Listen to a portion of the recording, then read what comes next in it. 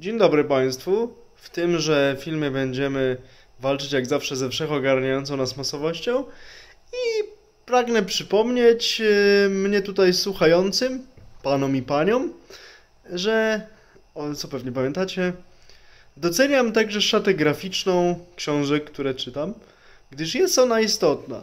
Z wielu powodów, między innymi dlatego, że za jeden obrazek, yy, jak to się mówi, yy, odpowiada tysiąc słów. Ja uważam, że za dobrze zrobiony obrazek nawet więcej. Pomaga to lepiej wczuć się e, w opisywany problem i go lepiej zrozumieć, a także lepiej sobie uzmysłowić mm, też poszczególne zagadnienia, oczywiście. Ale doceniam też pracę artysty, czy nawet jak to się zdarzało w przypadku nieżyjącego, już żyjącego w latach 1962 do 2007 pana Andrzeja Michałka, nieodżałowanego historyka wojskowości, który postanowił historię, zwłaszcza wczesnośredniowieczną i późno-starożytną, przybliżać czytelnikom w swoich pracach.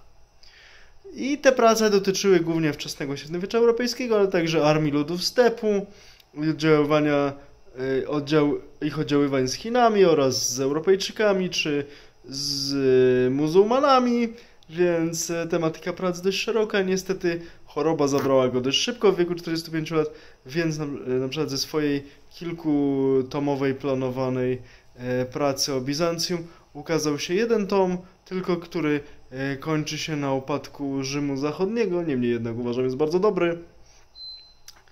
Niestety próbowano go wydać w 2016 roku, wydano tylko jeden tom, bodajże Słowianie Zachodni.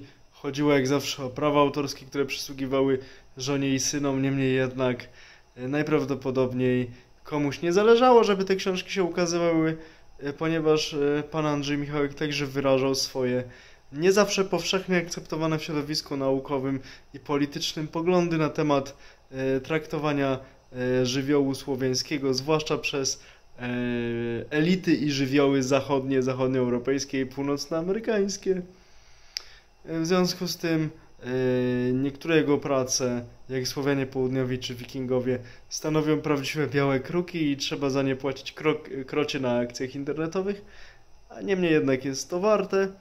E, nie tylko ze względu na treść tych prac, ale także i na opracowanie graficzne.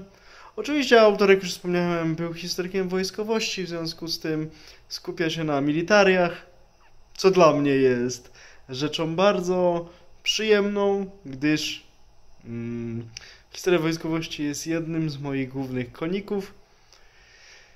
Warto też wspomnieć, że hmm, takie prace są dobre zarówno dla czytelników młodszych, jak i starszych, bardziej już w historii zaprawionych i doświadczonych, y, ponieważ y, dają one mm, nie dość, że możliwość uporządkowania sobie i poszerzenia wiedzy oraz y, dają także możliwość obcowania z dobrze zrobioną częścią graficzną przedstawienia opisywanego problemu. Jest to mm, też, jak już wspomniałem, wartościowe poznawczo, ale także i estetycznie. Przynajmniej dla mnie. Jest to podwójne przeżycie. Dlatego książki takich autorów jak pan Andrzej Michałek polecam. Dlatego nagrywam też ten filmik, aby o nich przypomnieć i zachęcić czytelników y, do sięgnięcia po prace, które nie są promowane y, w, me w mediach e, tak zwanych głównych. A tak naprawdę nie powinno się być głównych, tylko najbardziej rozchrzczanych.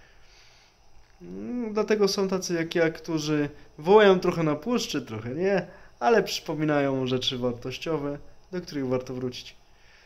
Publikacje pana Andrzeja Michałka, przedwcześnie niestety zmarłego, należy czytać i e, kontemplować, a także cieszyć oko, oglądając jego własne rysunki przybliżające dawno już minione epoki wielkości naszych przodków, ale nie tylko naszych przodków. Wszystkiego dobrego Państwu życzę. Do widzenia.